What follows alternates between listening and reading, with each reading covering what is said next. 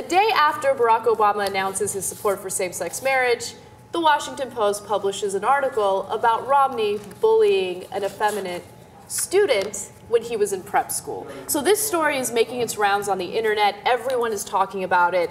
And um, I have to say, uh, the 11 page article was really interesting because it kind of gives you an idea of where Romney comes from, right? The environment that he was educated in and the type of behavior that was deemed acceptable, right? Now, five students who actually went to school with him. Uh, shared their story with the Washington Post, right? And all of them shared their stories in separate rooms, and you know, this it, it all kind of came together. So you can tell that they're not just lying and they're not bashing him. And I should also note that all of the people who contributed to this story uh, also have different political backgrounds. So they're not all Democrats. Uh, a few of them are Republicans, and that's an important thing to keep in mind because this isn't politically motivated.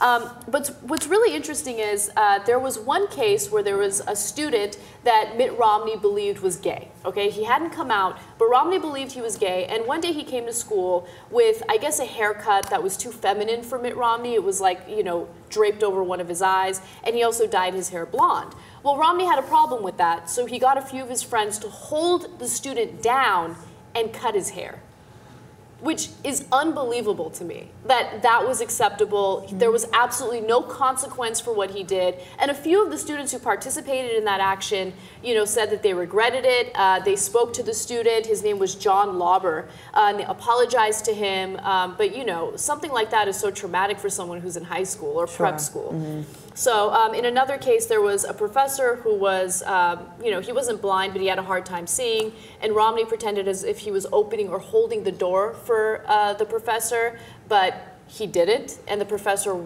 like walked into the door, which is so disrespectful. This one so is even, cruel. yeah, it's more unbelievable to me even than the first story. Because that's your educator. Look, this article, which went into great detail about mm -hmm. the mm-hmm. environment of this school, um, talks about how it was really it was hardcore when it came to academics. It was a very strict school. You know, some of the educators would come into like the dorm rooms and you know wear white gloves and check for dust. Right? It seems like such a strict environment. And then you have this little.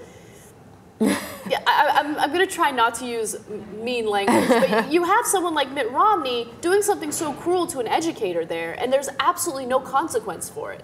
Yeah, I mean, it, it, it partially makes me question in a way, I think it's difficult because we're looking at these kind of isolated events in the context of 2012, and this happened in 1965. And a part of me wonders what was the kind of climate then? How acceptable was it for people to be basically homophobic out loud? I wonder if the teachers didn't do anything about this because they agreed with the position. They looked at, you know, they looked the other way because they said, oh, the boys will be boys and they're horse playing, and I'm not going to protect this, you know, this child who's effeminate or who may be homosexual because I disagree with this too. You know, it was a completely different climate that doesn't, by any stretch, excuse right. the behavior, but it makes me wonder if that's why this kind of behavior was much more accepted at the time. At the time, his father was the head of American Motors, mm -hmm. and mm-hmm. I get the sense that everyone on that campus, including the educators, knew that he was a privileged child, right?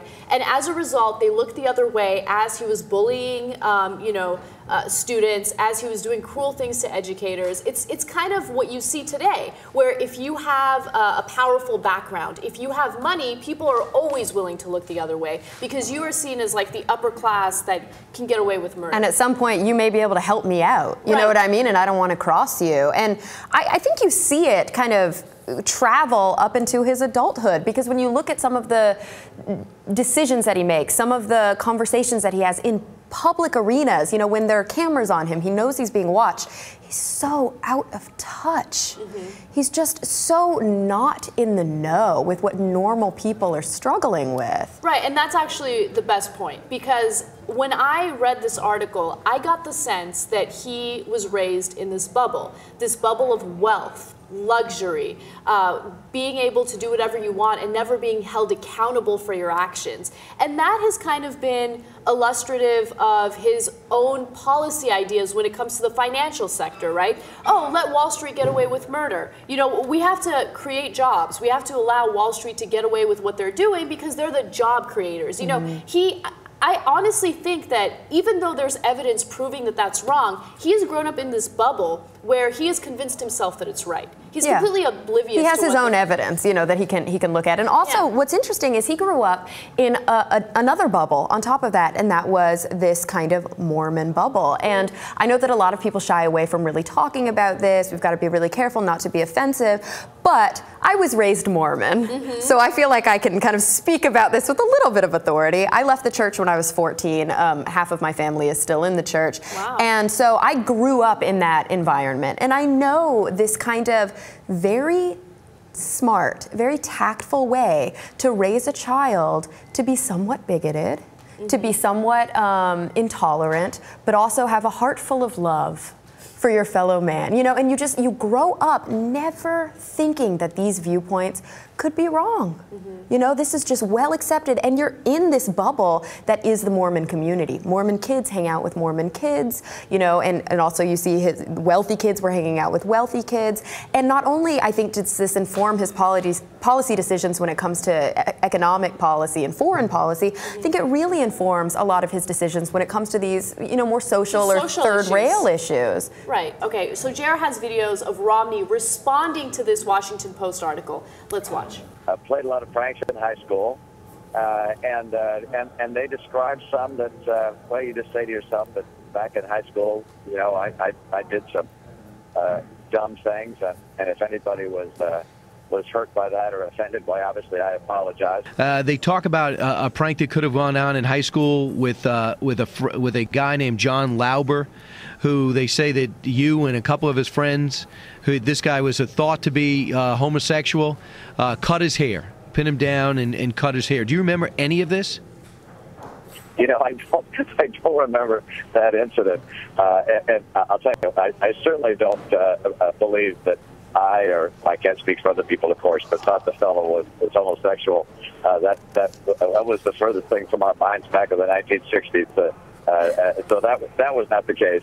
But uh, uh, but as to pranks that were played back then, I, I don't remember them all. But again, you know, high school days, if I did stupid things, why, uh, I, I'm afraid uh, I, I gotta I gotta say sorry for it. Wow. Where's the gavel? Like this is a total like moment where we would pound the gavel. Guilty. Like you, I don't recall. Like that's what people say when they're testifying. Uh, and, but, and they don't want to admit to the crime, so they just say, I don't remember.